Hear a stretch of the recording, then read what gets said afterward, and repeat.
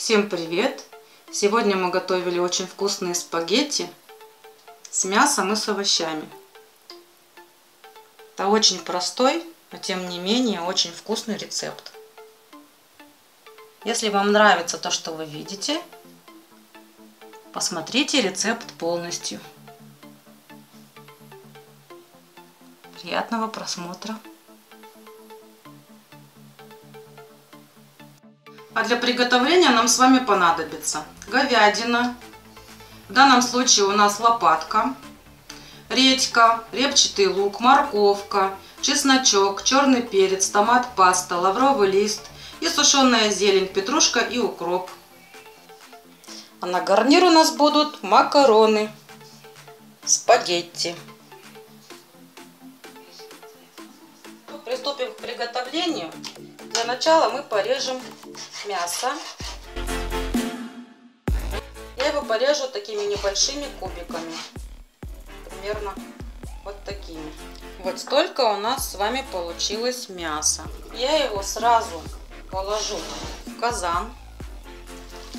Без всякого масла. Просто в сухой казан. Так, пока это нам не нужно, убираем в сторону. Овощи я хочу натереть сегодня на шинковалке. Не длинными, наоборот, короткими вот такими вот частями. Вот такими. Натрем морковку. Ну, вот такого количества мне будет достаточно. Вот такая она у нас получается красивая, тоненькая. Перекладываем морковочку в чашку и пока уберем в сторонку. Чтобы редька получилась у нас не такими длинными брусочками, ее нужно предварительно разрезать. И теперь вот этой частью будем натирать. И так же, как и морковку, натрем на шинковке редьку. Редька тоже получилась у нас очень красивыми, ровненькими, одинаковыми совершенно по толщине полосочками. Все, убираем ее также к морковке. Луковицу я натру точно так же, как и все до этого, на этой же самой шинковке. Получатся тоже вот такие красивые полосочки.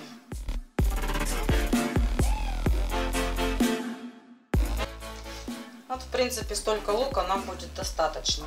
Только лучок мы с вами отложим в другую тарелку, не туда, где у нас морковка и редька. Чеснок мы с вами порежем вручную, для того, чтобы он слишком не был мелким.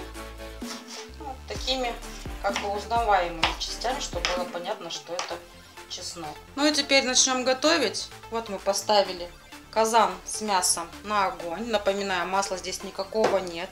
Теперь мы сюда нальем около 300 граммов воды. Просто питьевой воды. Ставим большой огонь. Ждем, пока мясо у нас с вами закипит. Ну вот видно, что скоро мясо у нас уже закипит. Мы сейчас посолим мясо вместе с водой. Где-то ну, чайную ложку соли я насыпаю. И теперь перемешиваем. На поверхности, как на обычном любом другом бульоне, появляется пенка. Как бы ее мы удаляем. Когда появится больше накипи, мы все это удалим. И потом с открытой крышкой будем варить. Также на большом огне до исчезновения полностью всей жидкости. Пока вся жидкость не выкипит, мы будем варить. Как только жидкость исчезнет, мы добавим сюда подсолнечного масла и будем обжаривать. Для чего я это делаю? Потому как я не уверена, насколько будет мягким это мясо. А при таком способе приготовления оно будет однозначно 100% вкусное и мягкое. Вот влага практически вся уже выкипела. Можно сделать огонь побольше. И сразу сюда налить подсолнечного масла.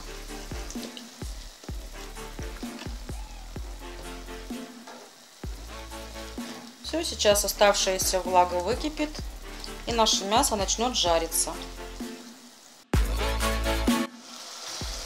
В принципе, наше мясо уже готово, можно его кушать уже и сейчас. Поэтому слишком много жарить мы его не станем. Просто добьемся того, чтобы оно покрылось у нас вкусной золотистой румяной корочкой. И потом будем добавлять сюда наши овощи. Ну, вот так, как мясо обжарилось, меня уже устраивает.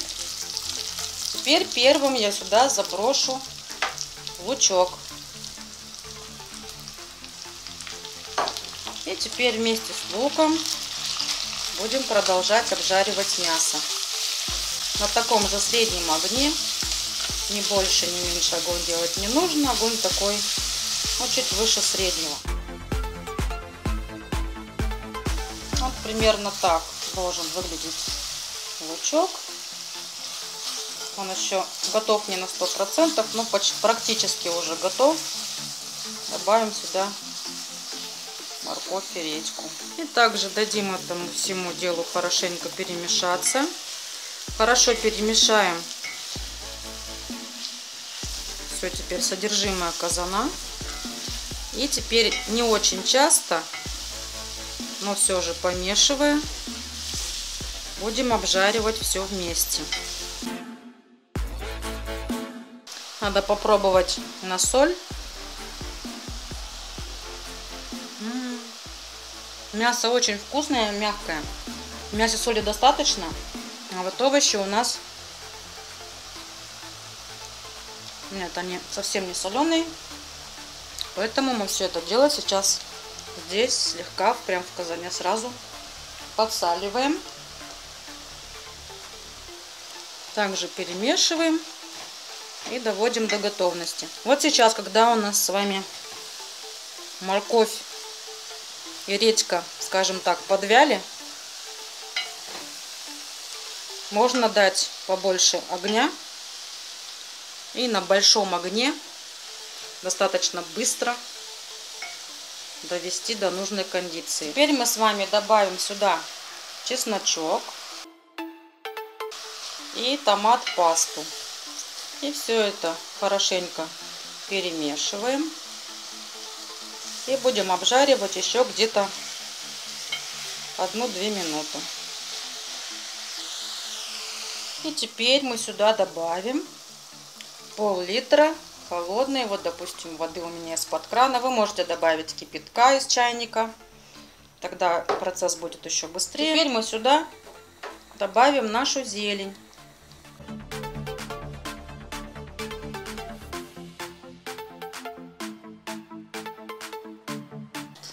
Подлив закипел. Делаем огонь чуть меньше среднего. И вот так, чтобы потихоньку булькало, доготовим нашу подливку.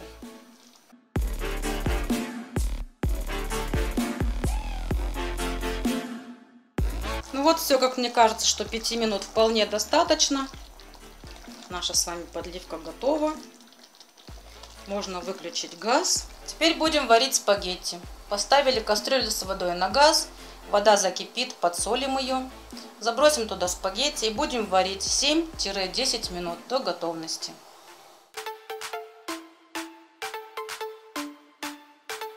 И помешаем мы с вами спагетти лишь только один раз. Для того, чтобы они у нас между собой не слиплись, не прилипли к стенкам кастрюли и к дну. Один раз вот так разъединяем и больше не трогаем. Прошло примерно 7 минут. Наши макароны сварились. Больше варить их не нужно.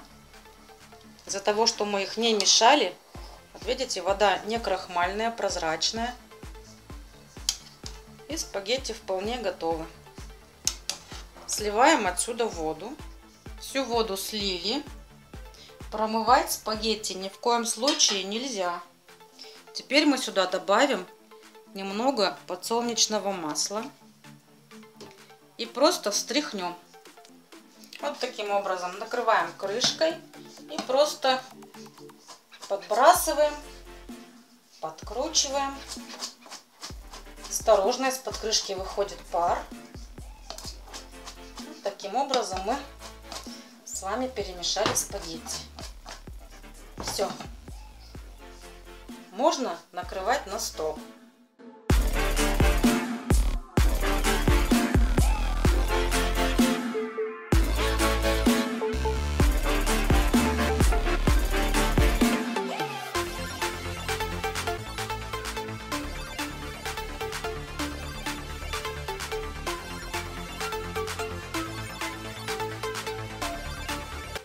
Вот такое красивое и очень вкусное блюдо у нас с вами сегодня получилось.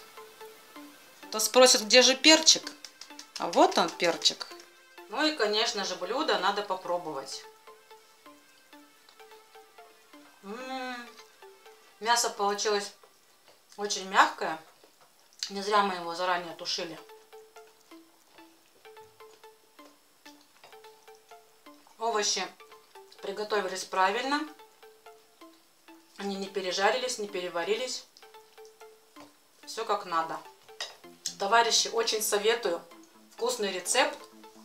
Готовьте вместе с нами. Подписывайтесь на нас. Всем пока.